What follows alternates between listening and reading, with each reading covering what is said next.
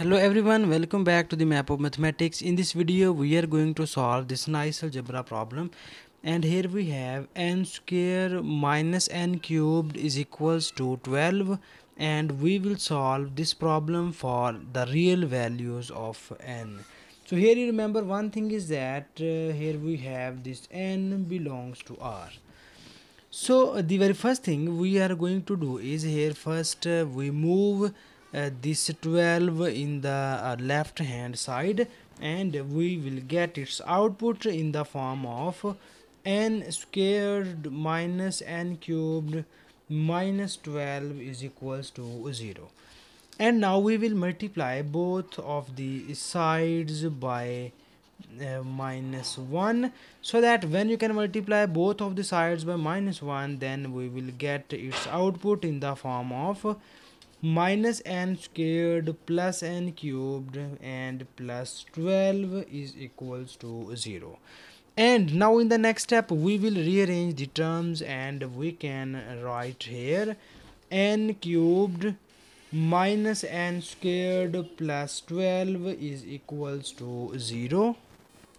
now we solve this cubic equation. So here we rewrite this equation in the form of n cubed minus n squared. And here you have plus 12 and we will write it as plus 8 and 4 and this whole is equals to 0 and now uh, we can rewrite this equation as n cubed minus n squared plus here you have 8 and we can write it as 2 cubed and here you have 4 and we write it as 2 square and this whole equation is equals to 0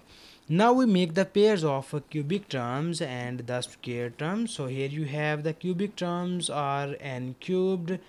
plus 2 cubed. And here we take common minus from the uh, these two square terms so that we will get here minus times of n squared minus 2 squared. And this whole equation is equals to 0 and now here you see that we have two equations or two pairs one is cubic and other is square. So here we need two formulas uh, one is cubic and the other is square formula. So you know about this these formulas. If we have a cubed plus b cubed it is equals to a plus b times of a squared minus ab plus b squared so this is the cubic formula and after that we need here this square identity a squared minus b squared. It is equals to a minus b times of a plus b. So now we can use here these two formulas. So first uh, we can apply the cubic formula on the first term and after that we apply the square formula on the second term so now we can uh, use here the cubic formula in the first term. So uh, its first term will be written in the form of n plus 2 times of n squared minus 2 times of n plus 2 squared. And minus here we apply the second formula which is n minus 2 times of n plus 2 and this whole equation is equals to 0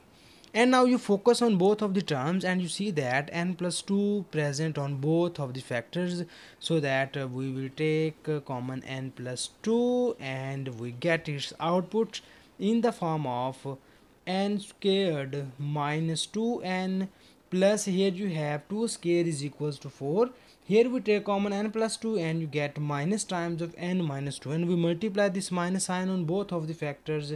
And you get here minus n plus 2 and this whole is equals to 0 and now we can uh, simplify the terms and you get here n plus 2 times of n squared here you have minus 2n and minus n is equals to minus 3n and 4 plus 2 is equals to 6 and this whole equation is equals to 0 so here we have two cases. The first case is we take n plus 2 is equal to 0 and the other case is we take n squared minus 3n plus 6 is equals to 0 so in the first case you get the first real root which is n is equals to minus 2 so now in order to find the other real roots we will solve this nice cubic equation this nice